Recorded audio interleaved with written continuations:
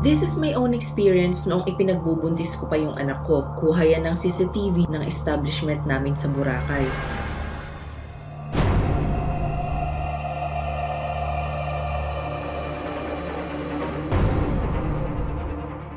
Bandang 3.30 to 4 a.m., may kumakatok po sa pintuan ko at tung tingnan ko wala naman pong tao.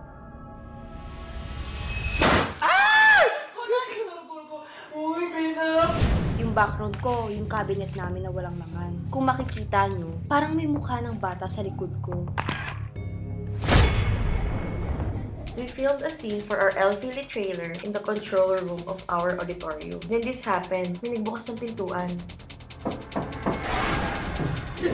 Fin, Fin! Habi ko Fin, o nagbukas?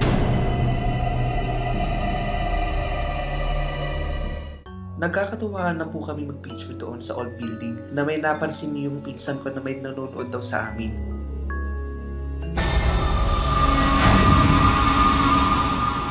Saktong 40 days nang mamatay ang dati naming kaopisina. Tingnan niyo yung phone, may sumama sa selfie ko. This haunted picture was taken from the ruins in Bacolod. May parang buhay na bangkay. It was my sister-in-law's wedding. Namatay ang mom niya noong taong 2007. Kumukuha ako ng picture pero may nararamdaman akong iba. Nag-aayos na ako ng picture para i-post sa FB. Nagulat ako sa nakita ko. Nandun si mama na matagal nang wala. Araw ng undas nung nag-picture kami, tapos nakita namin yung sa side na may parang batang creepy.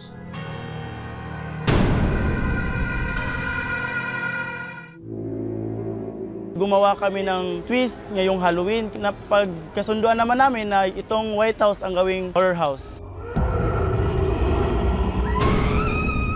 Marami na raw nakatira dito na hindi talaga nagtagal kasi nga may nagmumulto daw doon sa loob.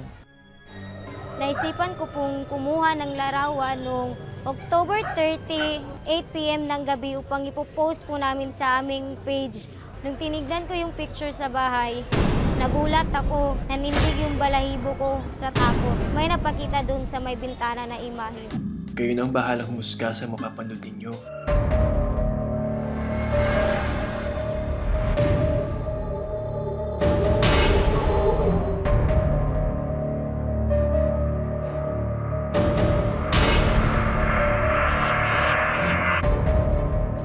Thank you so much mga kapuso. Kung nagustuhan niyo po ang videong ito, subscribe na sa GMA Public Affairs YouTube channel.